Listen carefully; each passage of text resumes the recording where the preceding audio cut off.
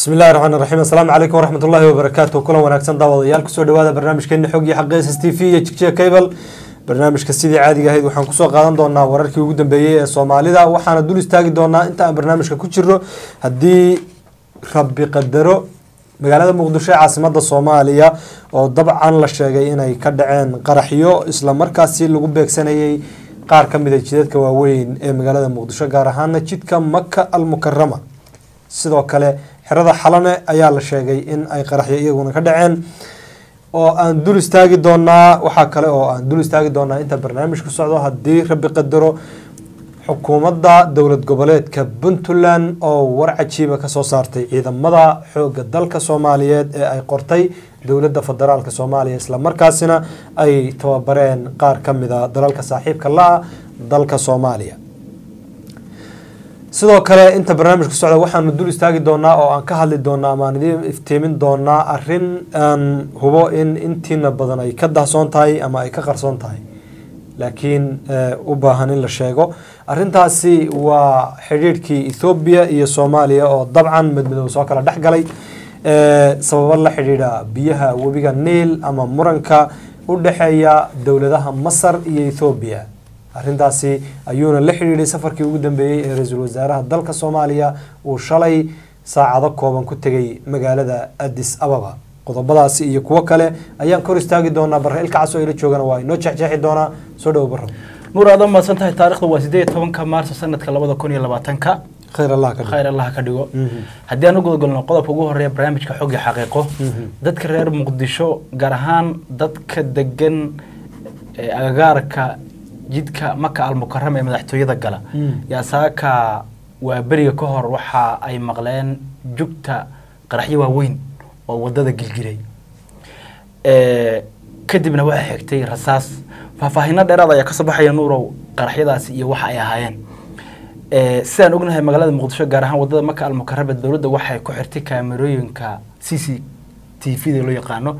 Kaamerooyinka waxa weeye waxduuba oo dabcan waxa weeye dowladdu dabcan ay u tala gashay in ay ku ilaaliso oo ay kula socoto dhaqdhaqaaqa waddada maka almukarama maadaama wadadan ay gasho madaxtooyada qaranka.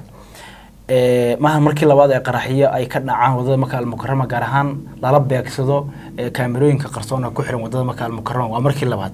Saaka subaxii hore waa beriga ka hor qaraxyo waaweyn ayaa lala eegtay kaamerooyinka ku xiran waddada maka almukarama ee madaxtooyada gasha taas oo dadka ay aada waxa weye u dareemeen jugta culus ee qaraxyadaasi. Kadibna waxaa la sheegay in rasaas ay xigtay.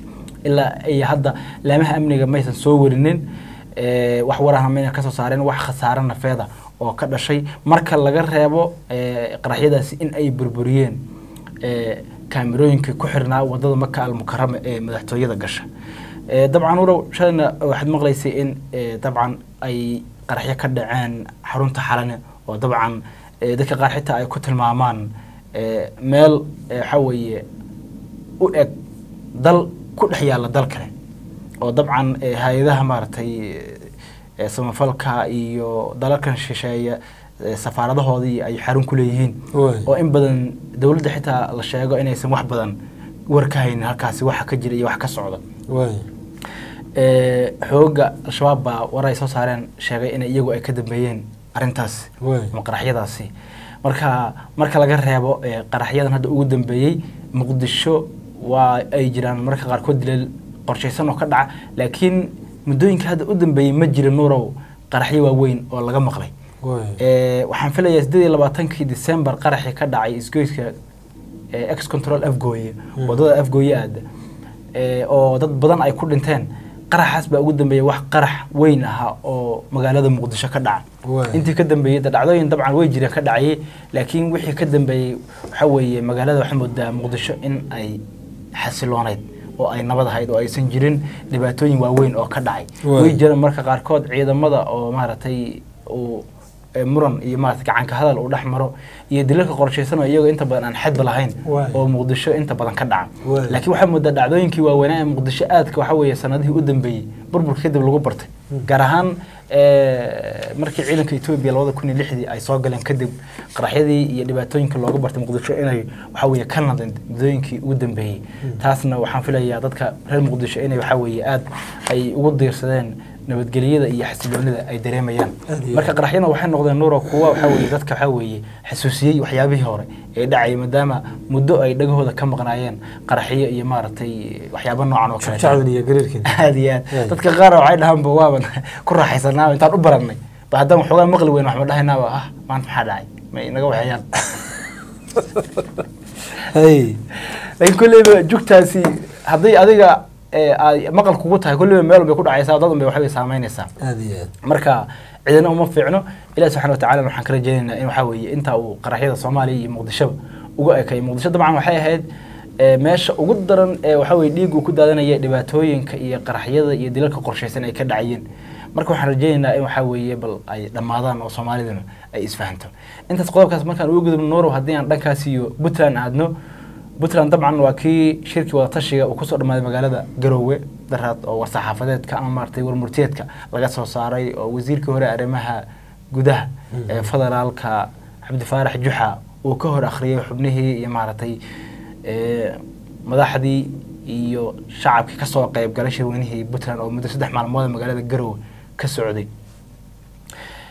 Shirkaasi dabcan markii uu qodobada qaar waxaad moodeysa in xubnihii dhanka federaalka ka socday ka soo qayb galay in waxaa weeye ay waxoogaa yaraha suurgasanaayeen mararkii u dambeysay qodobada qaar oo ay qaylo afka furteen qaarkood waxaa laga yaabaa inay dowladda federaalka iyo madaxeeda ka cabsanayn oo ay lahaayeen sidee baa idinkoo goobtii fadhiya loogu garaaci karaa loogu bahdili karaa oo qodobo noocaas oo xasaasi ah Hmm. loo soo saari karaa Hay.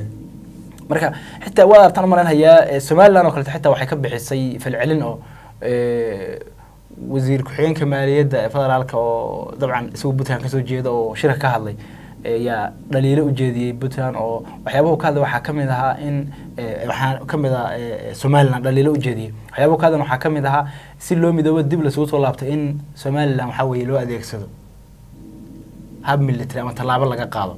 Taas waxaa weeye faysal ee, shirka garow ka hadlayay waxaa weeye wadatashiga ee reer puntland taas marka reer puntland waa ee, somaliland waxbay jawaab bay ka bixisay.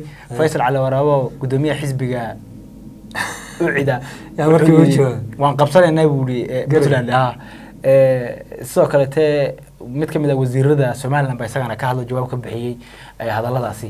Marka kulankaasi dabcan ama shirkaasi wadatashiga ee reer puntland ee darhad lagu soo gabagabeeyey magaalada garowe. Hmm. warmurtiyada ka soo baxay waxaa ka mid ahaa in dowladda federaalka soomaaliya ciidanka la qorayo uu yahay ciidan gaar ah oo dhinac ka raran. Oon ahayn ciidan oo dhan yahay oo dhammaan waxaa weye ummadda soomaaliyeed aan laga wada qaybgelin ama beelaha soomaaliya maadaama soomaaliya aan ognahay in waxeedu uu yahay four point five. Mhm. oo haddii ciidan la dhisaya haddii xilal dowladeed iyo kuraas la qaybsanayaba ay tahay in lagu qaybsado qaabkan four point five-ka inkastoo xisbiya la sameeyey laakiin weli wadadii looga gudbi lahaa waxa weeye lama waxa weeye lama jeexin oo waxa weeye lagama gudbin si maaragtay ay saamiladii siyaasadeed ay isku wada raacsan yihiin. Marka puntland marka waxay sheegtay in eh, ay aada uga soo horjeedo nidaamka dowladda federaalka ciidamada u qorayso. Labada kun iyo toddobiyo tobankii baa nuuro lagu heshiiyey maamul goboleedyada iyo dowladda federaalka ku heshiiyeen in ciidan qaran la qoro. Ciidankaas oo ka kala imanaya dhammaanba maamul goboleedyada iyo waxa weeye dowladda federaalka deegaanada ay gacanta ku hayso. Marka macnaheedu wuxuu yahay haddii ee, ciidan isku dhaf ah oo ciidan qaran la qorayo in waxaa weeye jubbaland ciidan ee, laga keeno puntland ciidan laga keeno galmudug laga keeno koonfur galbeed laga keeno hirshabeelle laga keeno dhammaanba deegaanada soomaalida laga keeno markaas uu noqdo ciidan isku dhafan oo aan ahayn beel gaara laakiin puntland waxay leedahay dowladda federaalk waxay jebisay sharcigii iyo wixii lagu heshiiyey oo waxay qoraysaa ciidan hal beel ah oo dhinac ka raran. Maysan dabcan sheegin beeshu yahay. Beeshu yahay magaca maysan sheegin. Laakiin adiga waxa weeye waxaa laga yaabaa waxyaabaha si arrimo jira madaxtooyada kale laga yaabaa inay tusaale soo inay tusaale soo qaataan baa laga yaabaa inkastoo aysan si toosa ciidankaas aysan u sheegin. oo aysan u xusin.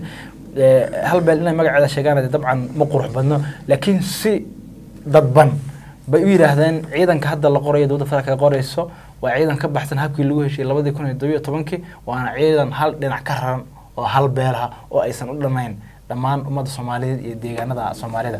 Marka eedahaas baa ay u jeedisay puntland dowladda federaalka soomaaliya iyo gaar ahaan ciidamada la qorayo. Sidoo kale nuur waxaa jirta ee, puntland hadalkeeda markaad sii fiiriso si ticraacdo waxaa jira iyadana ee, madaxweynihii hore ee dowladda kumeel gaarka sheekh shariif sheekh axmed mar isagana uu muqdisho ka hadlayay ee, sannadkii la soo dhaafay wuxuu sheegay ciidanka la qoro inuu yahay ciidan habeen la qoro. Oo waxa weeye ay jirto mugdi fara badan oo ku jira ciidan habeenkii la qorayo oo habeenkii la qaadayo oo waxa weeye aan shacabka soomaaliyeed aysan war ka hayn oo loo baahan yahay ciidanka la qorayo inuu yahay ciidan la isla ogyahay oo la wada ogyahay oo dowladda federaalkana waxeeda u noqdo wax cad oo waxa weeye. Laakiin waxyaabaha qaarkood oo soo baxaya marka aad fiiriso iyo siyaasiyiinta qaarkood iyo mas'uuliyiinta qaar waxyaabaha ka soo baxaya yaa keenaya in maarata shaki uu ka yimaado qaabka ciidanka loo qoro. Waad ogeyd oo dabcan xildhibaan maha salaad xitaa meel looyto qoraal dheer buu soo dhigay. Xildhibaanada mucaaradka galmudug ka soo jeeda ayuu ka mid yahay oo ku aadana in ciidankii madaxtooyada ilaalin jiray. Oo dabcan isaga marka uu yidhi hawiyey ahaayeen ama ciidan maaragtay banaadiri baan reer muqdisho ahayn. In laga qaaday madaxtooyada oo waxa weeye la wareejiyo oo goboladan waxa weeye shabeellooyinka loo wareejiyey halka ciidamo gada laga keenay. Waxa weeye la keenay madaxtooyadii oo ay ilaalinayaan. Taasoo marka u tusanaya ciidanka gada laga keenay inuu yahay ciidan madaxweynaha la beel ahaa halka ciidamadii madaxweynayaashii hore la beesha ahaayee muddo soo ilaalinaya madaxtooyada koofiyad castahaana waxa weeye madaxtooyada ee reer muqdisho ahaana laga qaaday mursale haddii madax hadduu qiraya way madaxweynayaashii hore in ciidan reerkooda ilaalinaya kana in ciidan reerkooda ilaaliya muxuu diidaya tusaale ahaan adiga macnaha magaalada muqdisho de dabcan waa horta waa magaalo caasimad soomaaliyeed wey laakiin madaxweynayaashii hore ciidanka hadda koofiyad casta magaalada ama madaxtooyada ilaalinaya waxay ciidan reer muqdisho ahaayeen laakiin ciidan kale markii meel kale laga keeno ay waxa weeye madaxtooyadii oo ciidankii kaletana waxa weeye laga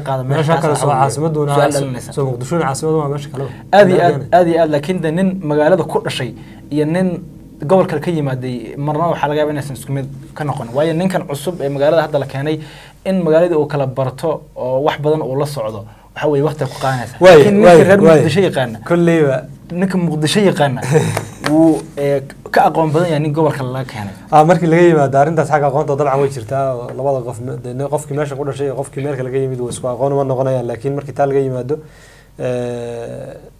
sida ugu wanaagsan waa in ciidan qaran la helo oo qabiil walba iyo maaragtay reer walba uu ka dhex uu ku dhex jiro oo ciidamada aan qabiil lagu salaynina lagu saleeya qarannimo iyo hadba sidii lagu qori kara qarannimo ay maaragtay lagu keeni karo laakiin hadday noqoto qabiil qabiil ay noqoto haddii hadduu madaxweynihii hore ciidan qabiilkiisa uun qortay oo ilaalinaya kana inuu kuwii intuu qubo oo ciidan kale oo qabiilkiisa a qorto.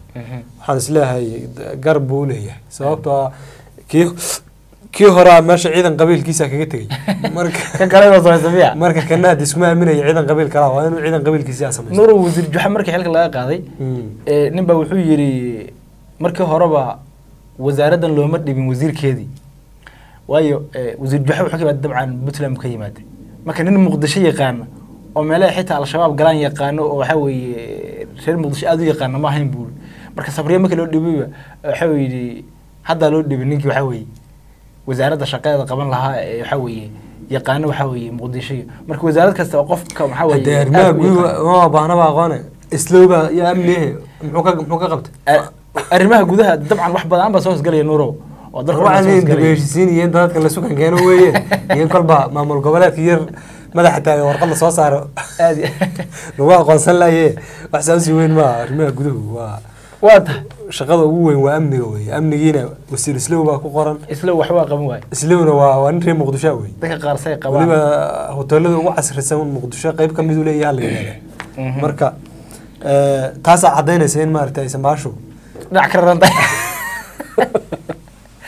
waa hagaag daawadayaal aan intaa ku soo gabagabaynaba barnaamijkaasi qodobkii aan idiin sheegay ee kale ee ku saabsanaa ethoobiya iyo soomaaliya barnaamijka kaxiga ayaan u dhignay. Inta aan barnaamijkan soo socda isugu soo laaban doono nabaadiino